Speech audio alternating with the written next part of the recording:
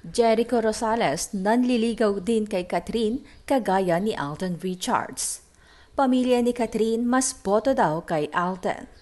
Kinumpirma nga ng showbiz vlogger na si Ochi Diaz ang patungkol sa umunoy panliligaw nila Alden Richards at Jericho Rosales sa kapamilya actress na si Catherine Bernardo.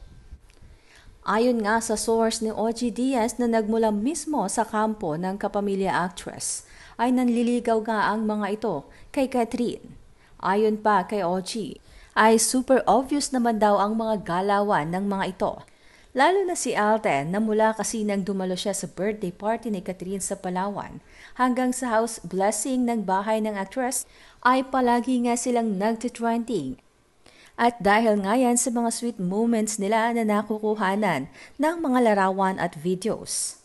At kitang-kita naman din umano sa kanilang body language.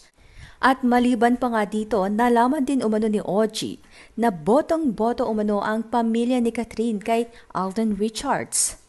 Aniya, at gustong-gusto raw ng pamilya ni Catherine si Alden. Kasi daw, syempre, lalo na kay Mommy Min, si Alden ay isang negosyante Si Alden ay financially stable, responsable, kaya raw natutuwa at naaaliw kay Alden ang pamilya ni Catherine. Pagpapatuloy ni Ochi, dahil daw yung gusto nila para sa isang lalaki, parang pinoposes ni Alden. Bukod dito ay nabanggit din nila Oji sa vlog ang panliligaw umano ni Jericho kay Catherine na base din sa kwento ng kanilang source. Ani Ochi, ang sabi rin sa akin ng aking source ay nanliligaw din daw itong si Jericho Rosales kay Catherine Bernardo.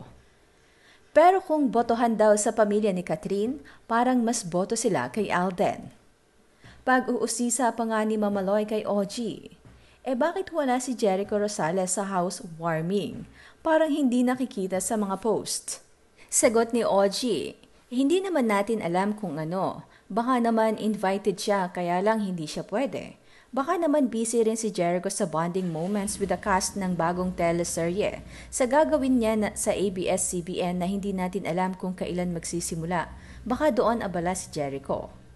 Nilinaw rin ni Ozzy na bukod kay Alden, present din sa housewarming party ang ilan pang artistang kabilang na sina Piola Pascual, Dimples Romana, Kakay Bautista, Alora Sasam, ang mag-asawang Robbie Domingo at Mikey Pineda, maging ang presidente ng ABS-CBN Studios na si Carlo Katigbak. Nagpahayag naman ng komento ang mga netizens patungkol sa balitang ito na nanliligaw na nga sila Jericho at Alden kay Catherine. Komento ng isang netizen, Jericho, please, huwag kang panggulo. Jericho, please, lumayo ka kay Catherine Bernardo. Naging topic din sa social media ang botohan ng mga netizens kung Team Alden ba sila o Team Echo.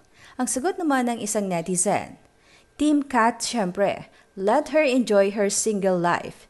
Years of being bound to someone who isn't the one for you is devastating. Let her move on fully. Pero kung papipiliin ako talaga sinong manok ko, dun ako sa Gusion Main sa ML tapos milyon ginastos sa Jensen Impact.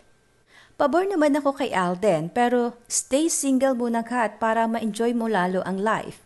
Mas bagay sila ni Alden. Mas komportable sila sa isa't isa at mukhang mabait si Alden kaya cut din ako.